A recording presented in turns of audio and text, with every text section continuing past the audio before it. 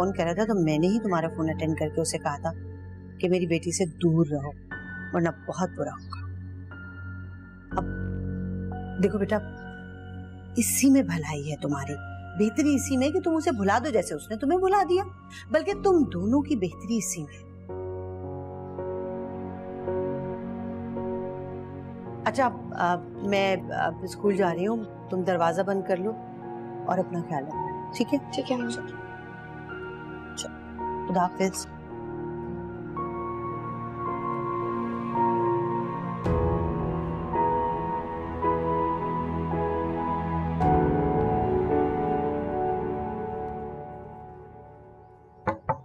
खालिद चाय तैयार है जल्दी आ जाए। ये बगैर नाश्ता किए कहाँ जा रहा है? मैं तो हैरान ही रह गया। अम्मा के आने से तुम अचानक गायब कैसे हो गई? मैं लोगों की आहटें महसूस कर सकता हूँ साहिल। मैंने भी कह दिया बहाना लगा दिया कोई कि कोई नहीं था।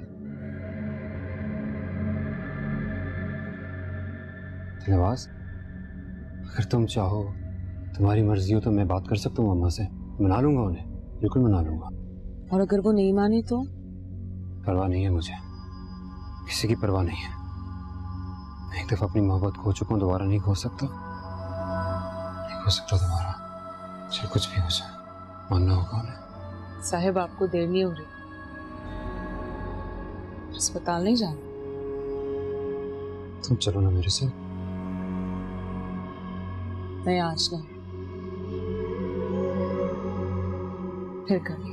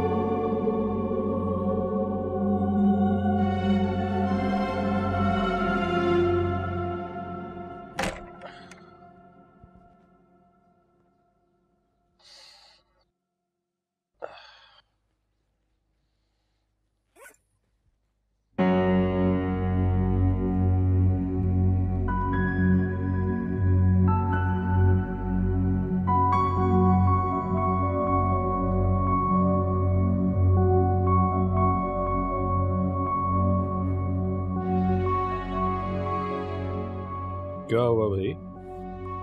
सुबह सुबह फ्यूज क्यों उड़ गया तुम्हारा? खालिद वो फवाद। ओ, क्या हुआ फवाद को? फवाद को मैंने हवा में बातें करते देखा है। पागलों वाली बात करती हो तुम। तुम्हारा वहम होगा। मैं सच कह रही हूँ खालिद आप मेरी बात पे यकीन क्यों नहीं करते? मैंने फवाद को किसी से बातें करते हुए सुना है और देखा भी है।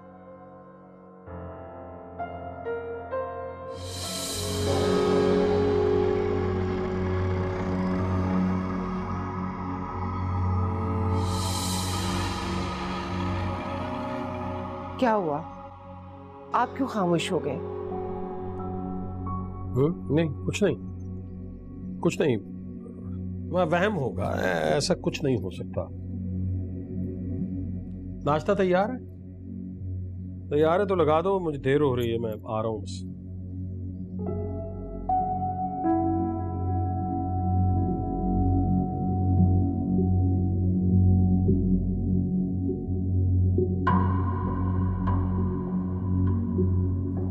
कुछ भी करो लेकिन तुम मेरे बेटे को ठीक करोगी। अगर तुमने दो दिन में मेरे बेटे को ठीक नहीं किया तो मैं तुम्हें इस मोहल्ले में तो क्या पूरी दुनिया में बदनाम करके रख दूँगी? कोई तुमसे तावीज तो क्या तुम लोगों की शक्ल भी नहीं देखेगा? सुना तुमने?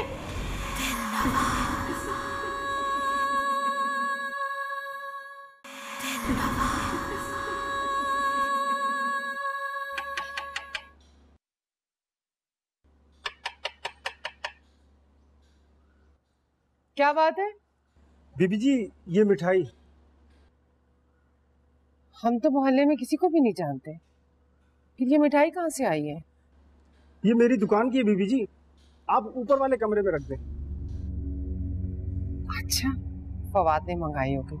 हमारे आने की खुशी में। लाओ। बीबी जी ऊपर वाले कमरे में रख दीजिएगा। अच्छा अच्छा ठीक है। जाओ।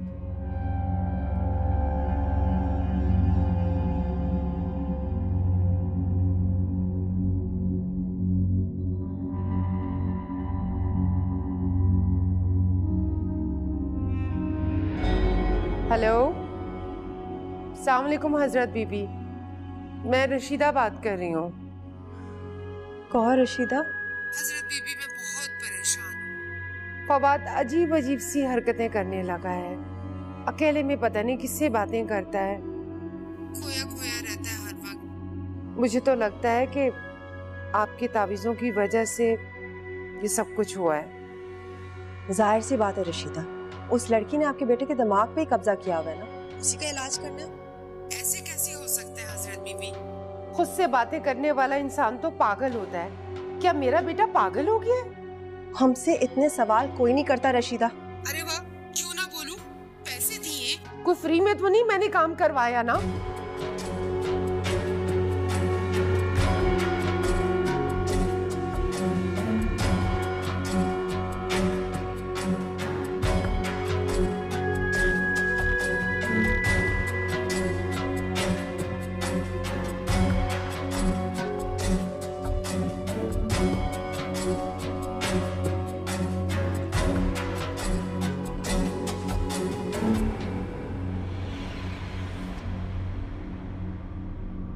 हज़रत बीबी।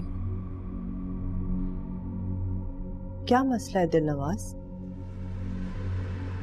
पहले तो तुम तीन तीन काम एक वक्त में कर लेती थी। और अब एक वक्त में एक काम भी सही तरह से नहीं कर पा रही। हुआ क्या? तुम्हें कहा था तरीके से चलना। लड़के के जहन को कब्जा करना। ये नहीं कहा था। कि उसकी माँ को लगे कि वो पागल हो गया। कहा था ना? उस लड़के के दिल में किरण की मोहब्बत दीवार की तरह मज़बूत है हज़रत बीबी। उसे तोड़ने के लिए मुझे बहुत मेहनत करनी होगी। आप नहीं जानती मोहब्बत में कितनी ताकत होती है। अच्छी तरह से जानती हूँ समझती हूँ पहचानती भी हूँ। मोहब्बत को भी और मोहब्बत करने वालों को भी। दुनिया की सबसे बेकार चीज़ है मोहब्बत। लोगों की जिंदगियों को बर्बाद करता है। लेकिन हमारे यहाँ तो मोहब्बत करने वाला फतेह होता है सब बीबी प्यार से किसी का दिल जीतने में तबाही कैसी? होता होगा। तुम्हारी दुनिया में। यहाँ पे सिर्फ़ और सिर्फ़ नाकामियाँ और बर्बादियाँ।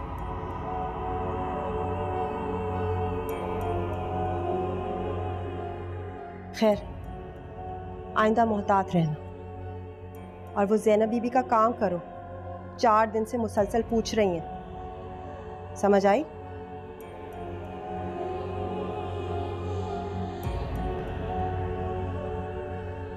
और हाँ अगले चार दिन के लिए वहाँ जाने की कोई ज़रूरत नहीं। लड़के को अपने माँ बाप के साथ वक्त गुजारने दो। यहाँ पे एक खाली कमरा है। वहीं गुजारा करो।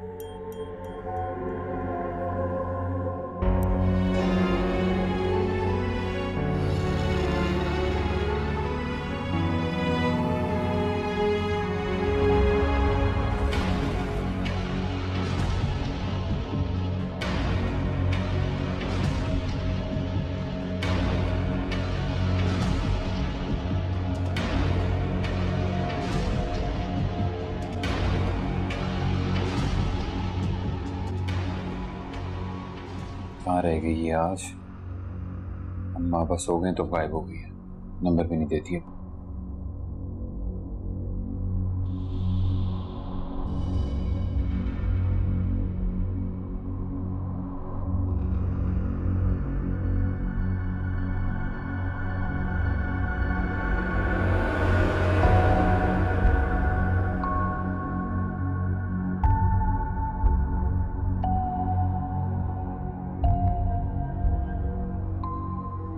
दिल नवाज़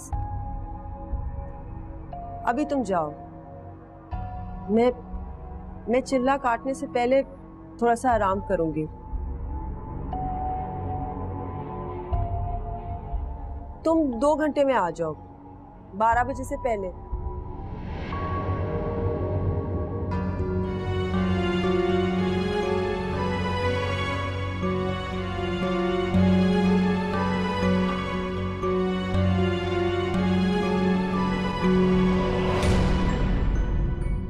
साहिब।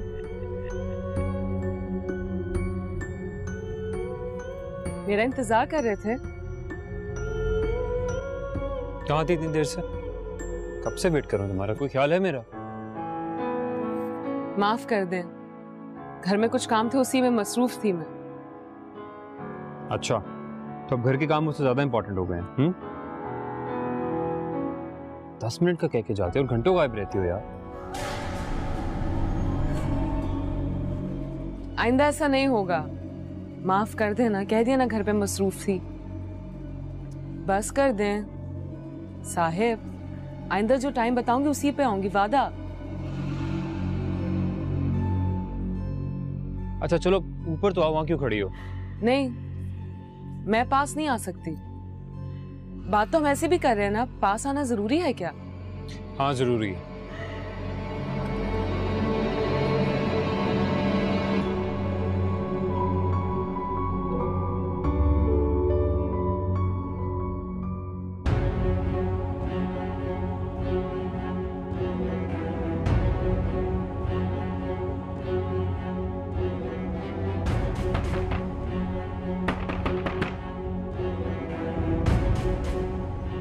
जी।